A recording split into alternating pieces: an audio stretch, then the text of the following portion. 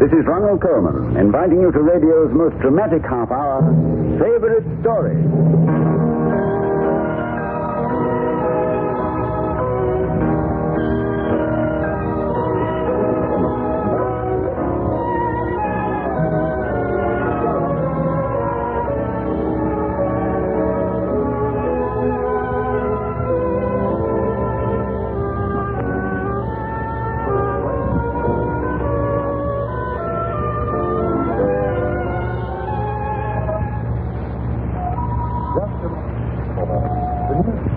Not long ago, I visited an art exhibit in Beverly Hills, where all the paintings had been done by well-known Hollywood actors. Very skillful etchings by Lionel Barrymore, portraits by John Beal, even a watercolor, Autumn Leaves, painted by Margaret O'Brien. And one canvas that particularly caught my eye was a colorful painting of a circus carousel. And when I looked more closely for the artist's name, I saw Frank Sinatra. So it isn't difficult to understand why he chose as his favorite story this tale of a man who painted a merry-go-round. It's a somewhat obscure adventure by a little-known French playwright, Maurice Level. The Man from Yesterday is the title, and here's Act One.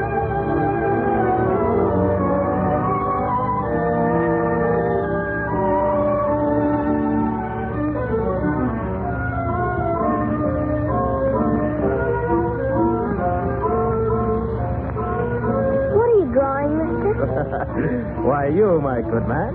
Drawing. That's a picture of the carousel. Didn't you know that the carousel is like the heart of every child? Round and round it goes, and it's always singing a wonderful little song. you talk funny. Do you know that's what she says, too? Who's she? The girl with the fire in her eyes? One look at her, my lad, and you're the prince of the Parthia, uh, the king of the Nile Valley, Kubla Khan, and Jason with the golden fleece in his wrap. Or, if you prefer, she'll sell you a ticket for a merry-go-round ride. Oh, you mean the lady with the frizzy hair who sells the ride? you might call her that. Or one day you might sneak up to the ticket booth and say, Helen of Troy, one ride on the green horse. You're real funny. Lad, you strike me as a gentleman with a discerning eye. Now, come here. I want you to have a look at this square of canvas. Now, you like it? I guess so. Ah, a very diplomatic answer. That really it's not good enough, this picture. You can get the colors and the way the wooden horses shake their manes like high-strung girls, but who can catch that melody on canvas? Who are you talking to? Oh, hello, Lorraine. I am having a serious discussion with this distinguished art critic. You get sillier every day. Run along, kid. Oh, sure. Bye, mister. Goodbye.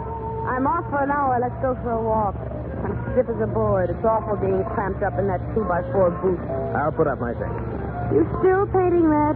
Uh-huh. You don't think anybody's going to buy it, do you? Well, maybe. It's a silly picture. Why would anyone want to buy a painting of a carousel when they can come here and look at the real thing? For five centimes, they can even take a ride. Perhaps it's not worth anything. Why are you doing it then? Oh, just a lark. Let's get out of this silly park and go look at the shop windows. There are wonderful things in the shop windows. Now, that depends on what you're looking for and what you want to see. Now, what does that mean? I think we'd better walk. Tell me, Monsieur Renault, what are you going to buy your best girl for her birthday? Uh, oh, yes, it's tomorrow, isn't You it? forgot. No, no, I, I, I just remembered. I still have to close a little, uh, shall we say, business deal. Look, What? Those wonderful earrings with rhinestones. Oh, aren't they precious? Oh, your ears are much too good for them. Lorraine, if you had a wish, what would you wish for? To be rich. I'd like to be very rich. I'd like to have those rhinestone earrings. And everything else I wanted. That's a good wish. How about you? What would yours be? Uh, my wish can only be whispered on the wind. You're a strange one. Tell me. You wouldn't understand. Well, I like that. You think I'm stupid, don't you? No, no, no, Lorraine, it's very simple. Uh, I wish for love. That and one other thing. What other thing? I want to capture a melody on canvas. A melody? Yes, so that when people look at a picture of mine, they they'll hear a little song. Yeah, now you must think I'm a strange one. You're crazy clean through.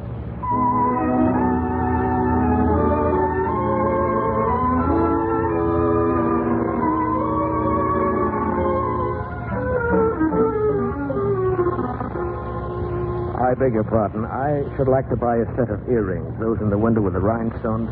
How much are they? Oh, but monsieur, those are not rhinestones. They're diamonds. A beautiful set. Ah. Here, I'll show them to you. Exquisite. Perfectly matched. Uh, how much are they? A bargain. Only 1,400 francs. Well, I. It's not so much when one is in love, eh, monsieur? I promise you the lady will be in trust. Uh, let me wrap them for you. Uh, may I give you a check? Of course, if you have identification. Oh, thank you. Uh, then I'll take the diamond earrings. But uh, will you hold my check just for the space of one hour? Uh, but uh, why, monsieur? Well, I, I merely have a certain business matter to settle.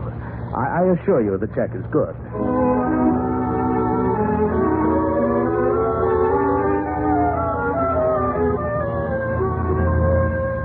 Really, Renaud, you are out of your mind. But I've been working on this for weeks, months. With your left hand, perhaps? I was sure that you would give me at least 1,400 francs for it. 1400 Do you think I'm made of money? Paris is full of painters. You can buy a whole studio full of paintings for 1400 francs. And look at this one, a carousel. Really, it's just a pot boiler. If I gave you 10 francs for it, I'd be losing money. I could never sell it in a million years. But how is a painter supposed to live? the economics of existence is not my problem. I buy and sell works of art. And what do you consider a work of art, monsieur? Get me something by somebody with a name. That's the kind of merchandise on which I can make a profit. A Degas, Picasso. Who has heard of Arnaud? How much can you give me? Well, I, I feel sorry for you, Arnaud. The colors are not bad in your picture. It's a stout piece of canvas. Perhaps the back can be used again. I'll give you 20 francs. 20 francs. All right, 20 francs.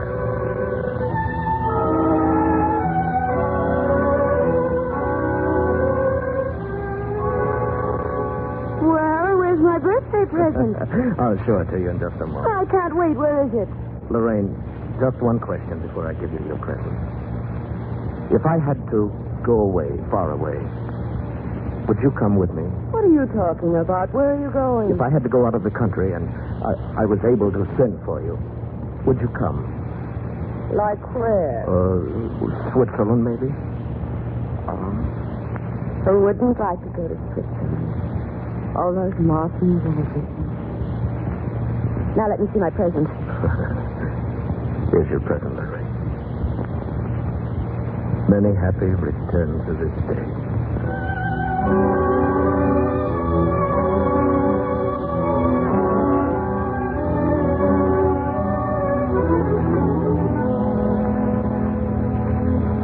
My dearest Lorraine, I am in the city of Bern in Switzerland.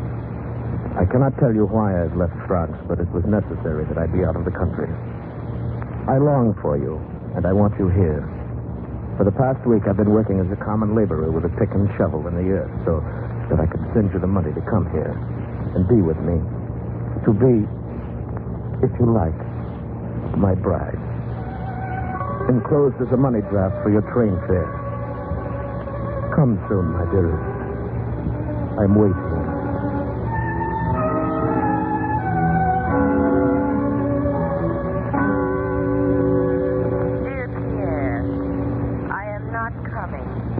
My friends here say the police are after you. You're a scoundrel and a thief. I knew you were crazy, but I never expected you to sink this low. Signed, Lorraine Terrier. Yes. Oh, I forgot to thank you for the rhinestone earrings.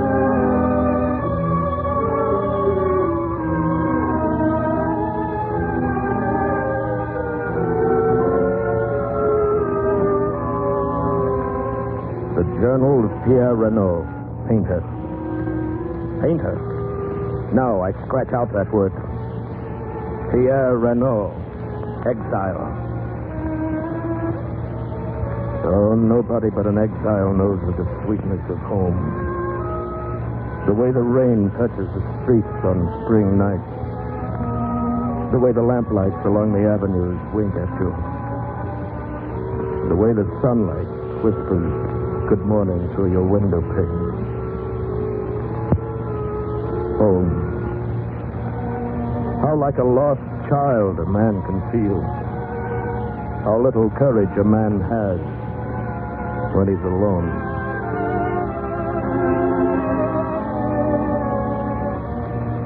Entry. I am still alone. Fifteen years of being alone.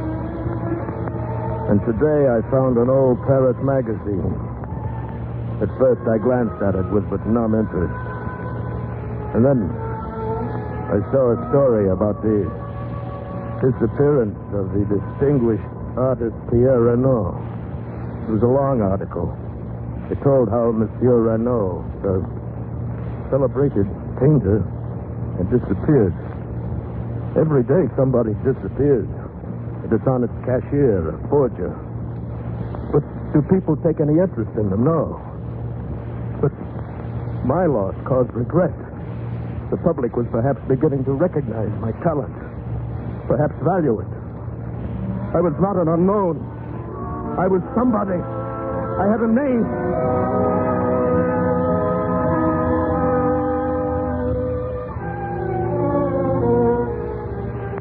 Entry. I am penniless. I must do something to earn a living. But what? Painting? And give them a chance to recognize my style and so lead to my arrest? How could I risk it? But I must do something to get enough money to support life. And then someday perhaps I can go back to Paris. Someday. Entry. I cannot begin to list the jobs I've done. The humblest jobs, those that demand nothing but physical strength. Why does not this unhappy man kill himself? Why does he live? Why? Why? Because in the back of his mind he still dreams. He dreams of a park where the green branches clutch at the sky, of a girl with fire in her eyes, of a carousel that sang a little song. He dreams, and his heart stays young. I know. You are going back to Paris no matter what happens. You're going home.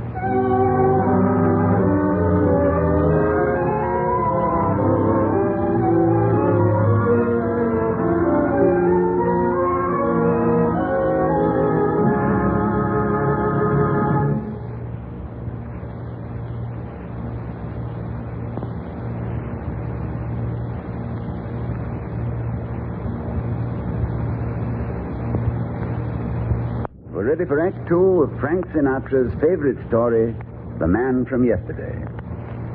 Oh, London is a man's town. There's power in the air. But Paris is a woman's town with flowers in her hair. The Place de l'Etoile wrapped in dust. The Champs-Élysées.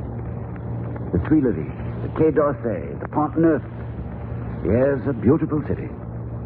And we can understand the longing for home in the heart of the painter Pierre Renoir. Here's Act Two of The Man from Yesterday.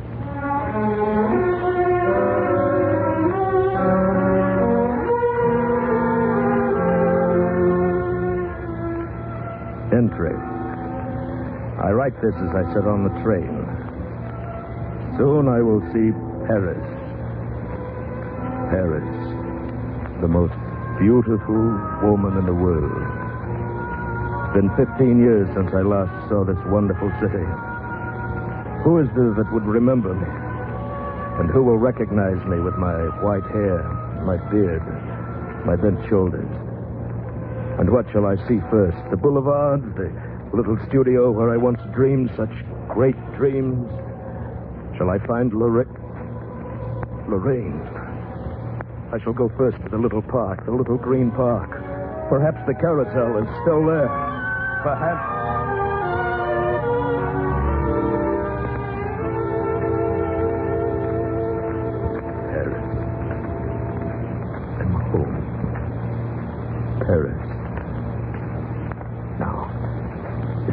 Around this turn where the leaves become very thick.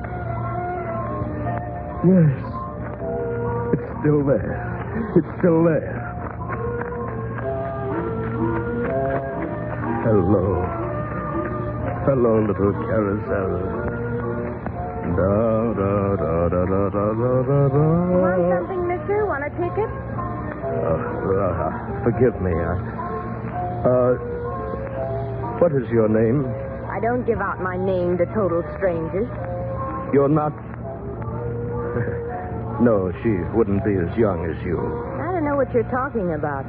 Do you perhaps know a girl who once worked here? Her name was Lorraine Perrier. Oh, of course I know her. You do? Oh, everybody's heard about her. Heard about her? How? Well, whenever anybody comes to work here, the commissioner of parks tells about her. She's famous. What happened to her? Well, she's very rich. Rich. So she got her wish. What did you say? Ah, I was just talking to myself. Oh, you're a strange one, aren't you? That's what she used to say. I wish I knew what you were talking about. Look, you'd better get along now. The Jardin Le Parc is my beau, and, well, he doesn't like anybody standing around his booth. Oh, yes, yes, of course. Uh, just one more question, please. How did she become rich? Oh, someone she met once turned out to be famous, and she wrote his life story. I don't think she really wrote it herself, though. Some newspaper man helped her. She married him later. Sure wish I had her money. You know, I could do the same thing, just make up a lot of stories about an old sweetheart. No, but then nobody famous ever comes around this dump. Dumb. Oh, oh, my dear girl, you're so wrong. Just listen to the wonderful carousel. Listen to the melody. Melody? What are you talking about? Listen.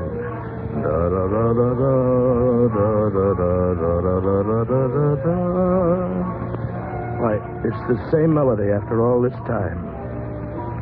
You know, there are some things that never change. Yeah, there is sort of a melody. You know something funny? I've been working here for two years. This is the first time I've noticed it.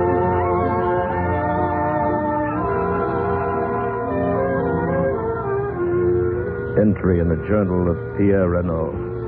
Citizen of Paris. I must change my name if I'm to paint again. And I am painting. I've bought canvas, some colors, and brushes.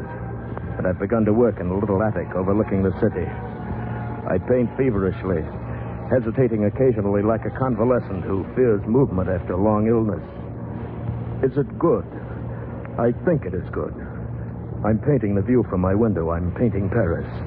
And through my fingers into the brush, I'm trying to pour my love for the city.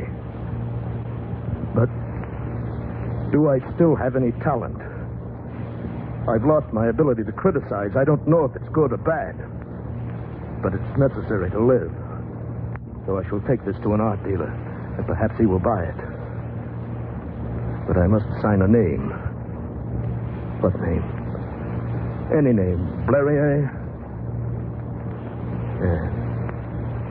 A painting by Augustine Blériot. Newly born.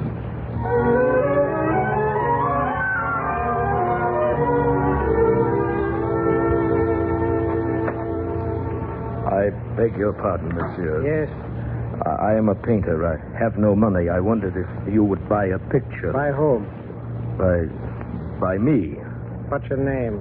Name? Uh, Blériot. Augustine Blériot. I'm sorry, we're not buying anything just at present. Please, I. Uh, Certainly you're wise enough to know that a dealer in my position cannot deal in unknown quantities. please, will you at least look at it? I'm a busy man. You don't have to buy it. I'm not asking you to buy it. I just want you to tell me if it's good.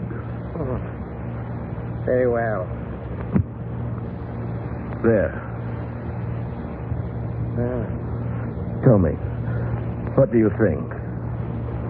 not bad. Not at all bad. In fact, remarkably good. Did you say this was your work? Yeah? Astonishing. Amazing. You know of what this reminds me? It's like a Renault. What did you say? Yes, that your work resembles that of the great Renault. Great. You must know of him, monsieur.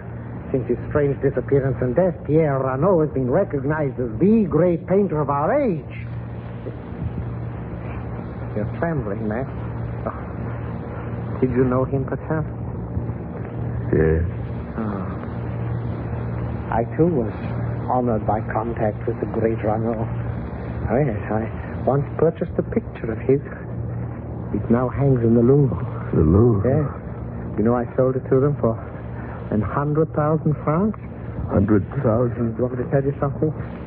You, you have Rano's style, his quality. Oh, but this painting is better than anything he ever No, did. Yeah. no, it- as a dealer, of course, I should not tell you. No, it's not better. I think that it is. Very few of Rano's paintings have the emotion that this one has. And the proof of my opinion is that I'm prepared not only to take this picture of yours, but as many more as you can paint. I will sell them for you, monsieur. In two months, your work will be known. In two years, you'll be so celebrated they'll forget Rano. Oh, my friend. What's your name? Blarier? Uh, yes. Well, Larry. Monsieur Blarier, you can make the world forget Rano. And we can make a tidy profit as we do it. Forget Rano? Yes, now let us come to terms. Of course, you understand I can't offer you much for your first picture. It's some time before people understand the difference between Blarier and Rano. Uh, most buyers need guidance. But it will end with Rano going to the wall. Excuse me. I'll come back some other time. All right, I but leave the picture. No. Well, you're making a great mistake, monsieur. a man doesn't hesitate when an opportunity like this presents itself. Uh, why, if I had offered Rano what I'm offering you, more than likely he'd be here now. Yes, that's Well, You can't possibly refuse my offer. It would be childish. I do refuse it. Give me my picture. oh, but I... Give me my picture. It's A great pity, monsieur. Believe me, I can make a bigger name for you than Rano made. Goodbye, sir. But, monsieur Blair... Entry. As I stood in that shop, I suddenly realized that all I cared for, all I respected in myself was the man from yesterday. The man I had once been and could no longer be. What did the success or the failure of Blerier mean to me? I am not Blerier. Blerier is a stranger who's being invited to come forward as a rival to me, to my real self. This unknown could efface my name and what it stands for in the art world. I left the shop. It was growing dark. Some people who were hurrying along stumbled up against me. It was a damp, dreary evening. I stood on the curbstone, my picture in my hand. I held it for a second at arm's length. Then I threw it in the road in front of a passing carriage. The hoof of the horse struck the frame. Then came the wheel, and it split the canvas and crushed it in the mud, so that little remained of it but a gray mass, like crumpled paper.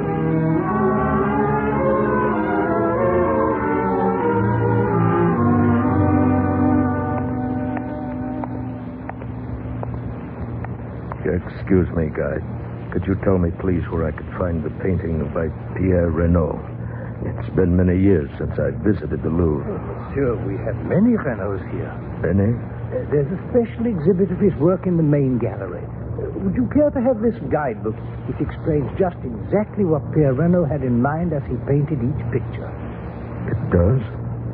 Well, uh, that's remarkable. Uh, yes, I'll, I'll have one. So, uh, ten centimes, please. Yes. There you are. Uh, be sure to see Renault's carousel, monsieur. That's our prize. The carousel. Where, where did they find all these pictures? Oh. Hello, little carousel. And what do you suppose the guidebook has to say about you? Number 364. Pierre Renault's masterpiece. The carousel. Visitors say that as they look at this picture, they hear the little They hear the little melody of the real carousel.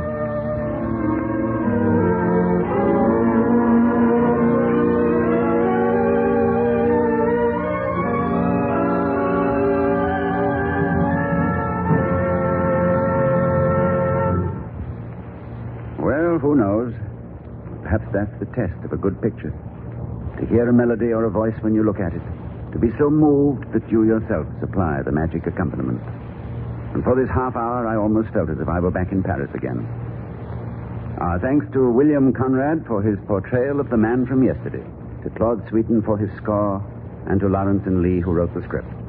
And our thanks to Frank Sinatra, who chose this tale as his favorite story. Next week's favorite story was selected by the famous picture director, Mr. Cecil B. DeMille.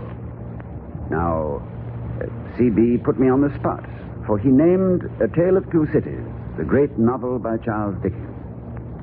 And if you think your host on Favorite Story is going to let anybody else play Sydney Carton, you're sadly mistaken. So, I'll be sitting in a courtroom of the Old Bailey next week about this time with a barrister's wig tilted on my head. We hope you'll be listening.